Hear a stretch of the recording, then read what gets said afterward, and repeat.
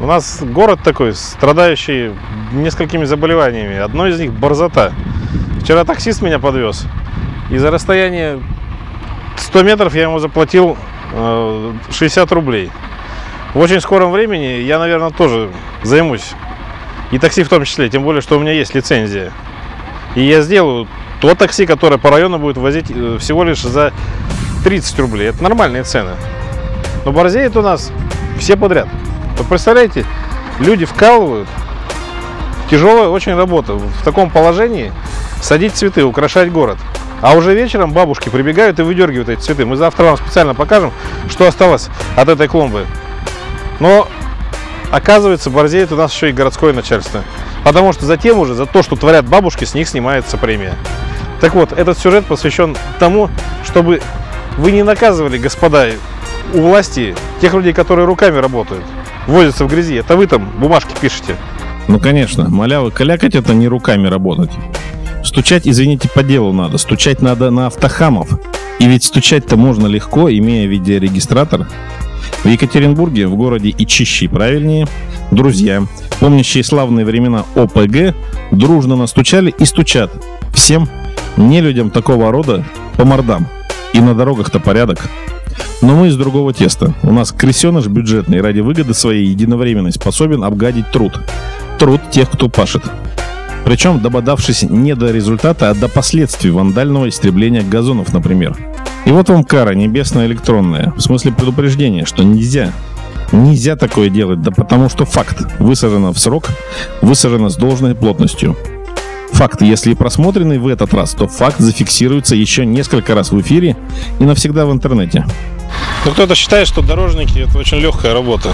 Сколько вот высадили на той клумбе? 3260 штук на той клумбе высажено. И здесь около 2000 вот сейчас должны высадить еще. Это реально очень тяжелая работа. Ну да, вот целый день постоять вверх одним местом, это очень, по-моему, тяжело, тем более при такой погоде. Мы говорим про то, что вандализм это не только бомжи, которые воруют эм, железные заборы.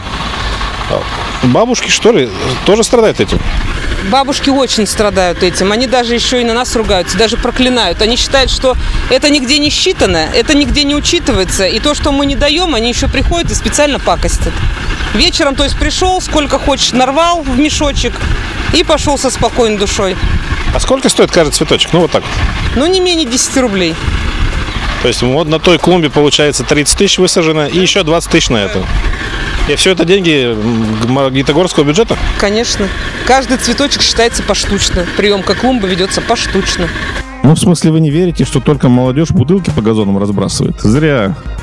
Клумбы, высаженные только вчера в людном месте, подвергаются нашествию воришек со стажем. В буквальном смысле. Воришек-пенсионеров. Ведь на халяву уже.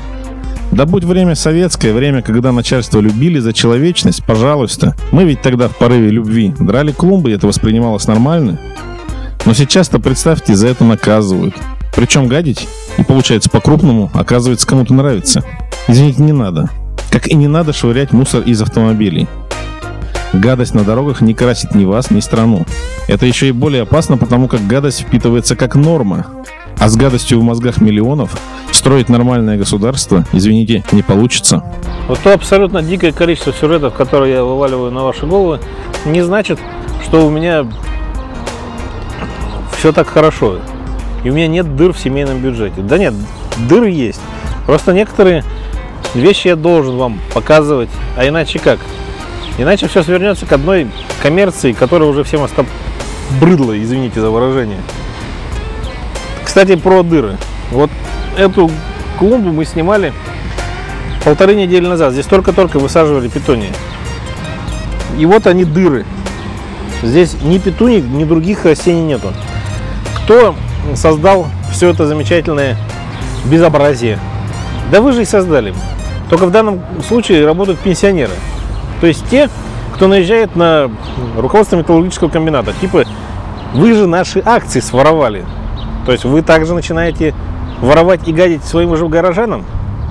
Только в отличие от комбината, вы творите хаос, а на комбинате сплошное очарование.